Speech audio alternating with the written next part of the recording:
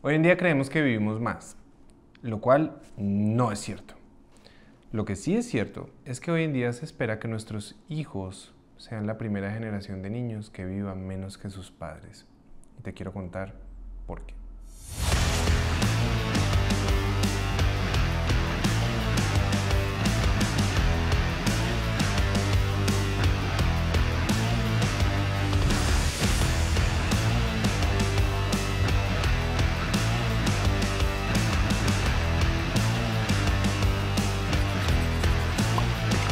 Amigos, vivimos en un, algo que es un problema de salud inmenso, es un problema de salud muy grave, es un problema de salud pública en el mundo entero.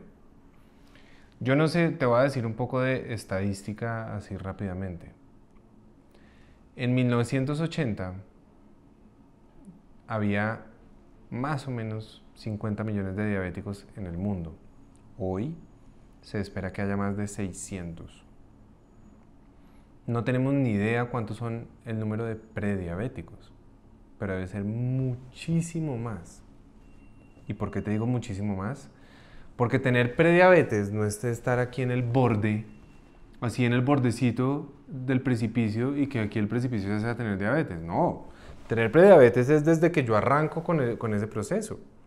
Desde que yo empiezo a ganar adiposidad, empiezo a alterar mi glicemia, mi insulina, mi ácido úrico, mis triglicéridos, los, quistes en los ovarios y eso puede empezar desde la niñez.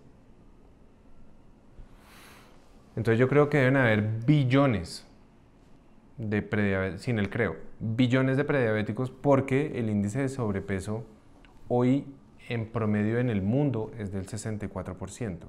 Hay países como Estados Unidos que tienen el 72%, como Chile, que es el número uno, que tiene el 74% de sobrepeso y obesidad.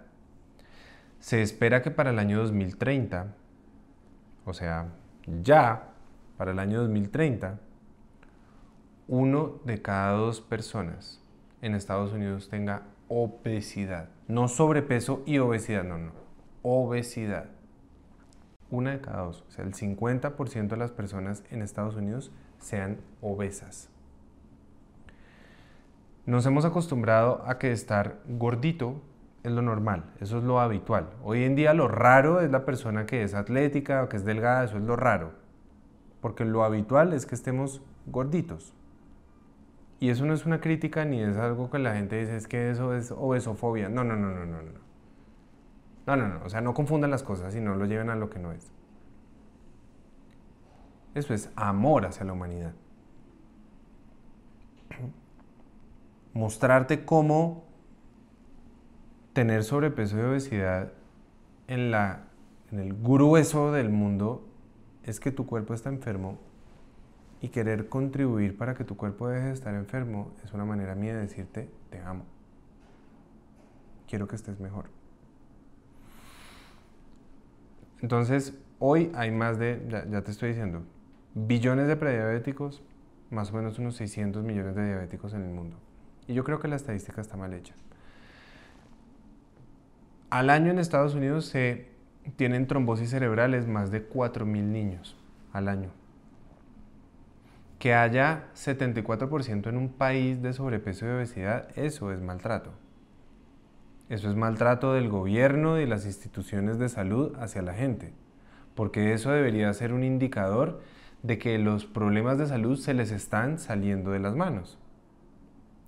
Pero no, más fácil construir más unidades de cuidado intensivo, generar más métodos de cirugía, más medicamentos, lo cual es genial. Pero preventivamente en educación para hacer que eso no suceda no hacemos nada. La medicina va desde la prevención hasta el final de la, de la terapéutica. Todo, todo abarca. Pero la prevención con ciencia, por eso yo tengo ese lema desde hace muchos años que es educando con ciencia. Desde hace muchos años lo tengo, lo vengo utilizando más o menos desde el 2014, 2013. Hace muchos años lo vengo utilizando. Y es cómo vamos a hacer para darle la vuelta.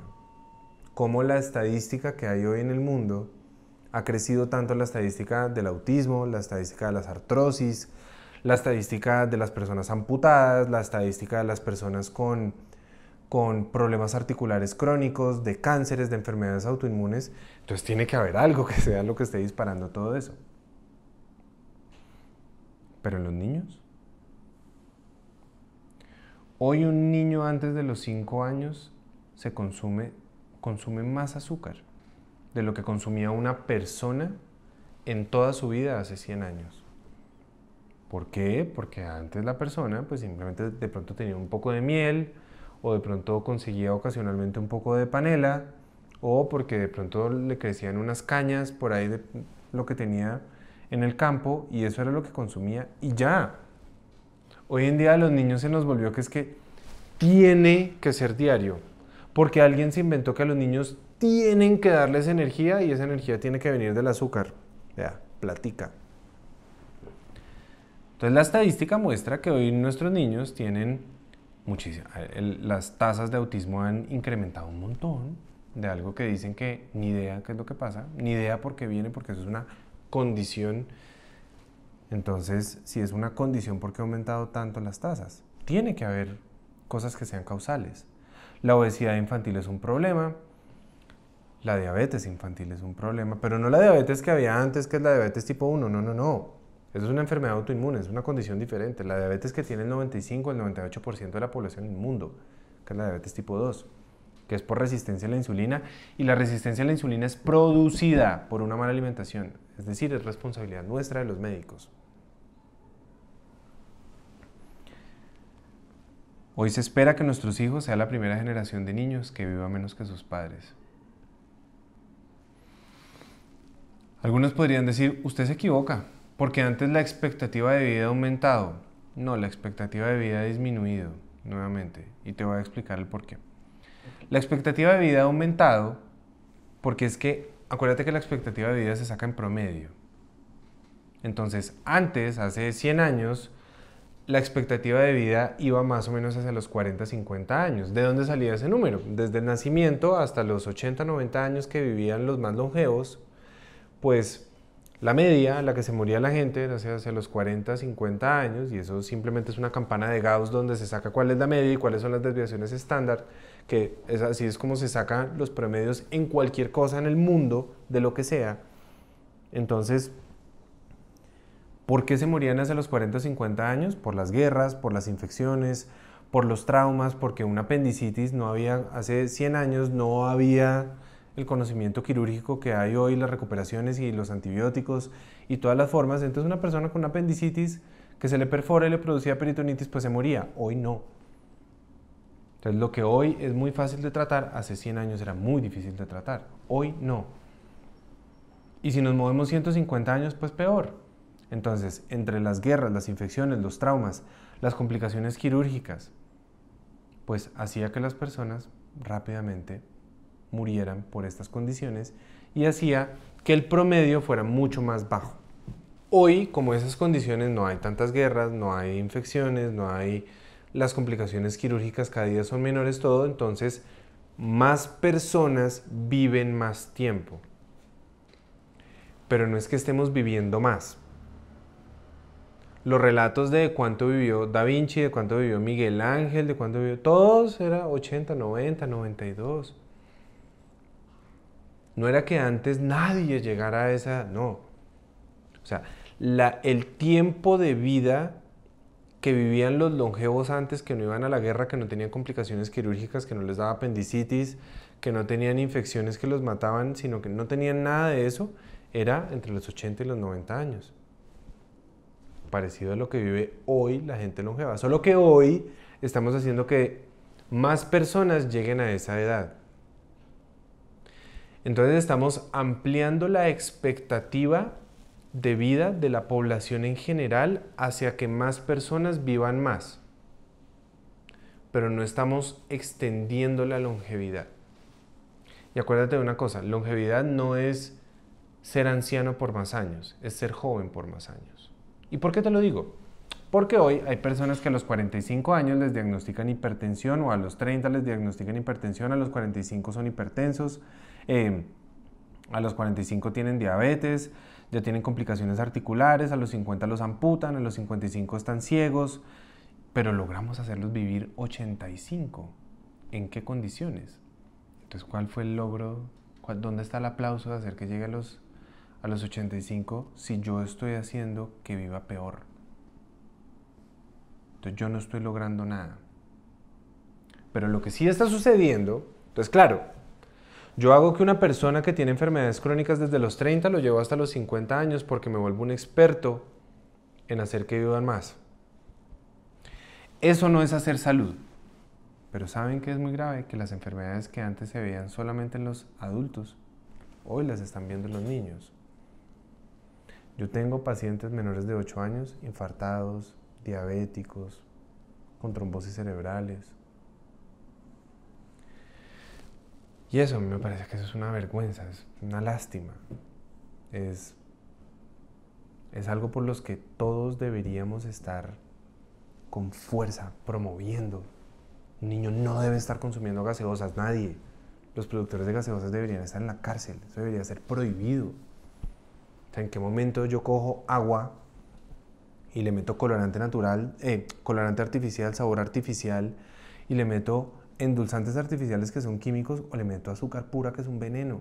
Las dos cosas son un veneno. Y yo me tomo eso.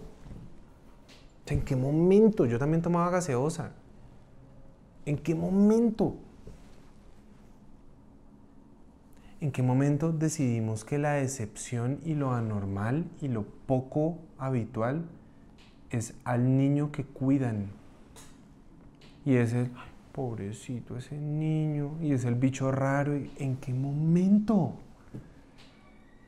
Y lo habitual es el niño que le dan de toda, lo llenan de basura y el día que termina con asma, con un cáncer, con alguna dermatitis severa, entonces, ay, sí, doc, doc, lo que sea. No, lo que sea es hacer lo que sea sin que estén enfermos.